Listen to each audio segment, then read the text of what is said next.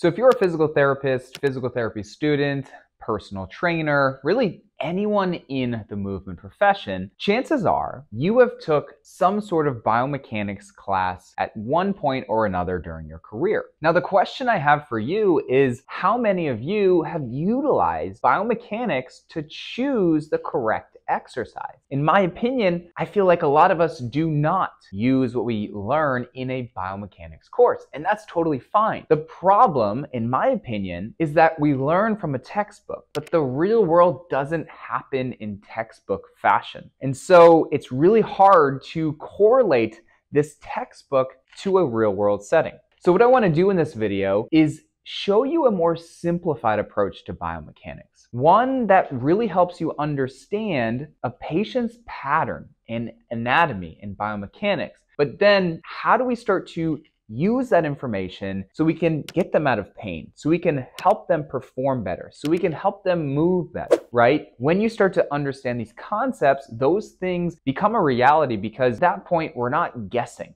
We're not giving someone random exercise. We're actually utilizing the specificity of their anatomy to help us intentionally prescribe exercise. So in this video, I'm primarily going to focus on the pelvis and the lower extremity. However, if you're interested in this type of content, let me know in the comments below and I would be happy to make an upper extremity video. Now, when it comes to understanding the biomechanics of the pelvis, I do think it's useful to understand the traditional textbook language and then how we're gonna start to twist that to our own language and in a way that's a little bit more simplified to then bring it into exercise decision. So when it comes to the pelvis, every patient that we see is going to be biased towards one pattern or another. The first pattern is one that's more in a posterior pelvic tilt, and the second pattern is more in an anterior pelvic tilt. So when we have a posterior pelvic tilt, the innominate bones go into external rotation, abduction and flexion, as the sacrum goes into counter nutation, okay? When it comes to our anterior pelvic tilt, the sacrum goes into nutation and tips forward.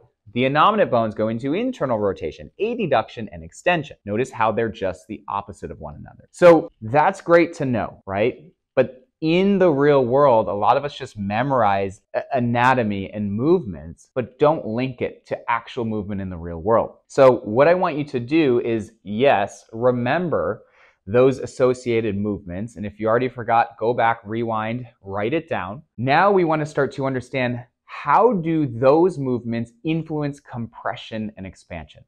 And to me, understanding the biomechanics of the pelvis from a compression or expansion standpoint is a much easier way to understand what exercise we need to choose for our patients. Now, I do want to give credit where credit is due, and a lot of this compression and expansion wouldn't be possible as far as the understanding of it without the work of Bill Hartman. He is a physical therapist, he has a channel, go check him out. He's really shed light to this compression and expansion model. So with that said, once we understand the associated movements that come with the posterior pelvic tilt and anterior pelvic tilt, we now want to understand compression and expansion. So for the posterior pelvic tilt, in order to get that pattern, muscles need to compress in certain places and muscles need to expand. So because this is getting compressed, we have compression back here. And because we have compression posteriorly, we have expansion anteriorly, right? Because the body, for the most part, will work in opposition. So when we have compression somewhere, usually the opposite is going to be expanded. So instead of memorizing and understanding counter nutation, external rotation, flexion, abduction, what we're doing is simplifying it down to two categories. The back is getting compressed, the front's being expanded. And the good news is if you know one, you know the other because when someone's in more of an anterior pelvic tilt, we have nutation of the sacrum. Notice how this pushes back. Well, the only way that this will be able to push back is if the muscles allow it. And when muscles can expand, they can allow it. So for an anterior pelvic tilt, we have just the opposite. We have more expansion back here and more compression anteriorly. And the more you work with the human body, the more you'll start to recognize these patterns when you're on the PT table for your assessments. Those in one pattern usually pinch where they don't have space to do so, aka they're too compressed. And so for our anterior pelvic tilts, they usually compress going through hip flexion because they're so compressed here, but they're more expanded here. So to me, that's a much easier way to understand the biomechanics. Now, how do we relate that to exercise? Now, when it comes to exercise, ultimately your execution needs to align with your intent. This means that if your intent is performance based, then we need to execute that way. If your intent is weight loss, we need to execute that way. If your intent is to get out of pain, we need to execute that way. And the way that you coach movement and the exercises you choose are probably going to be different based on those goals. Now, for this video, I want to talk about getting someone out of pain. How do we do that? Well, when a patient comes in, they're in a certain pattern and they are going to start to be so limited in that pattern that they don't have any variable movement. So a very simplified approach from a physical therapy standpoint is we need to increase or improve our patient's movement variability. Now, a lot of us are familiar with that, but this is where the biomechanics come in. Let's walk through the two patterns and learn how to improve their movement variability. So if a patient comes in and they are in an anterior pelvic tilt. They are going to have nutation, internal rotation, adduction, extension.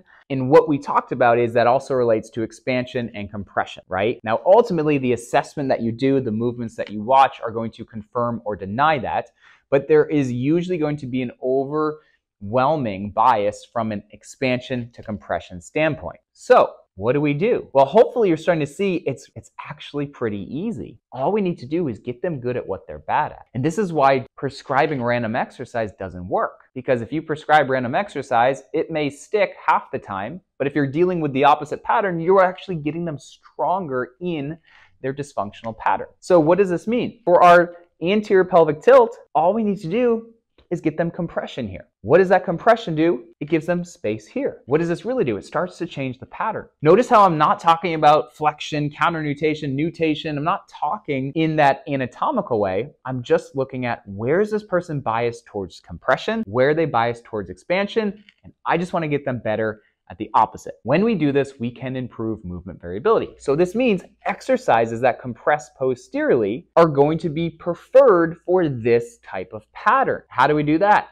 Hamstrings are a big time exercise. 90-90 exercises where you can really get the hamstrings on. Any sort of vertical motion, squatting, specifically with a front load, so that way you can capture that compression is going to be great. And so as you start to go through this, you start to recognize that you don't need me to do exercises for you because I don't know how your patient presents like. What I can tell you are the principles of the biomechanics, and then you can apply certain principles in specific ways to your patients to get them better, all by just referencing compression and expansion.